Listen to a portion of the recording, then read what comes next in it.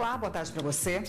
A Polícia Federal e a Receita Federal cumprem hoje 153 mandados da Justiça. A operação é contra envolvidos em um esquema de lavagem de dinheiro e evasão de divisas, que, segundo a investigação, movimentou ilegalmente quase 6 bilhões de reais. O repórter Gabriel Seafrei tem outras informações sobre essa mega operação. Gabriel, boa tarde para você. Boa tarde para você, Érica. Boa tarde a todos. A Operação Rameron é realizada pela Polícia Federal e também pela Receita Federal. Os alvos, empresas suspeitas de cometer os crimes de evasão de divisas e também lavagem de dinheiro. De acordo com as investigações, estes crimes seriam frutos de outros crimes, como por exemplo o tráfico de drogas e também o comércio ilegal de cigarros vindos do Paraguai.